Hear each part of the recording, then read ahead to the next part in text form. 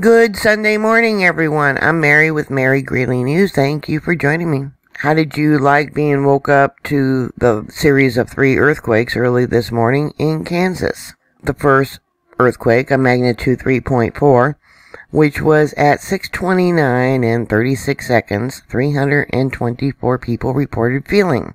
Now, there is a chance that any earthquake has a 20% chance of being a foreshock of something much larger. And shortly afterwards, at 11:31 and 30 seconds, there was a larger earthquake, a magnitude 3.5. 1,404 people so far have reported it on USGS. And then it was followed a little bit later at 12:02, which would be 7:02 local time by a magnitude 3.0. The 12:02 is universal time. So this one was at 7:02 local time and 171 people reported feeling this earthquake. The first earthquake, the 3.4, people probably didn't know that they were woken by this earthquake. So when the 3.5 occurred, yeah, they knew that happened. It was reportedly felt over a very wide area, all the way up to Lincoln, Nebraska, uh, Des Moines, Idaho, uh, Tulsa, we got, um, Omaha City in Oklahoma. Uh, let's see. And we'll zoom in here. Yep, you can thank the oil and gas industry for causing this earthquake. Just three months ago, there was a series of earthquakes in the same location. Here we got uh, 2020, which was December 8th. This is today's earthquake. And let me bring it out. I got all the dates. These are all December's earthquakes of last year, except for the most recent. And I got the dates. Here we got the 3.5 from today. And these are all from December of last year. As of October 1986, there was over 118 oil and gas wells in that location. Here you can see Eastborough oil field. Oil and gas data. Here we got, this page has not been updated. You can see a lot of the links aren't working. We got the Kansas page, oil and gas index, uh, KGS homepage. But anyway, um, they got two different names from, for two different outfits working there. Um, Viola and Mississippian. But it's not Mississippian, it's, uh, there in Kansas. Abandoned wells as of 1986 29. I don't know how many they got there now. I didn't spend a lot of time looking it up, but here we got the leases. We got Morley and Ketman leases. Let me pull this over for you. Yep, we can thank them for all your earthquakes. Back then it was Eklund Drilling and Silver Creek Oil. And here you can see the page was put up by the Kansas Geological Survey. And more names of different companies that are drilling there in that area. Um, there's quite a few. Yeah, it's a long list of names. And it looks like there's three pages of companies that are working there. You know, what they do is they inject water into the ground to fracture the ground, to make it just shock and break like glass.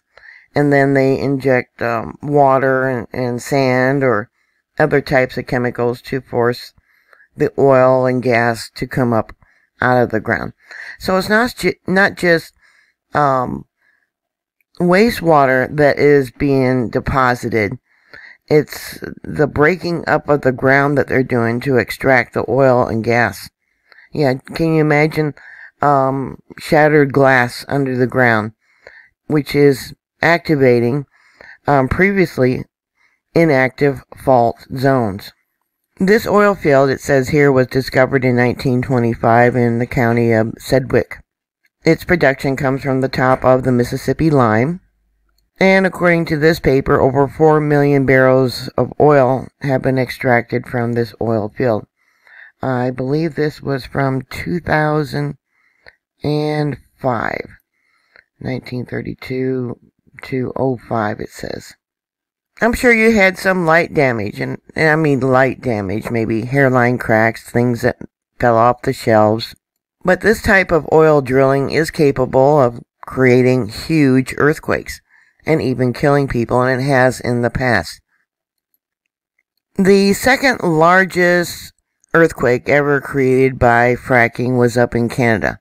That was in 2015. That was a magnitude of 4.6.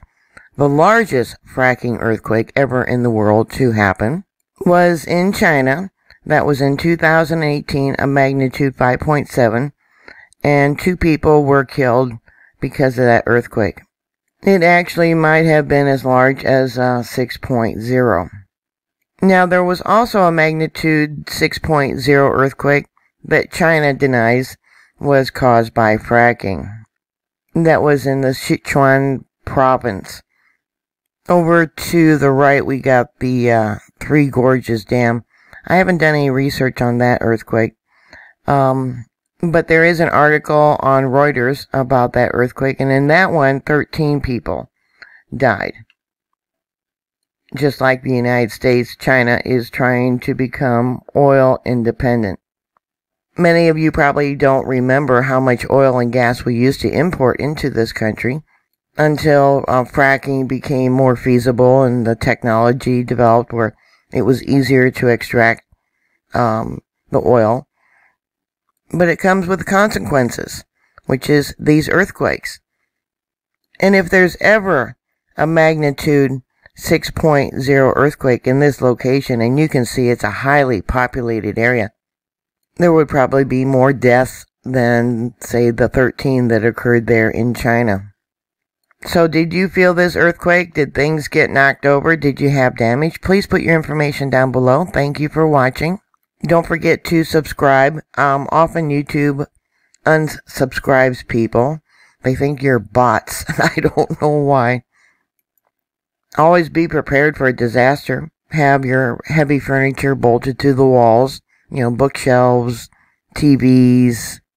If there is a large earthquake, get away from fireplaces and windows. Get under something very sturdy. Do not get in a doorway. Doorways used to be, because of past types of construction, was the strongest part of the building, but that's not so anymore. So please put your comments down below. And once again, thank you. Please stay safe, and I'll talk to you later. God bless you all. Bye.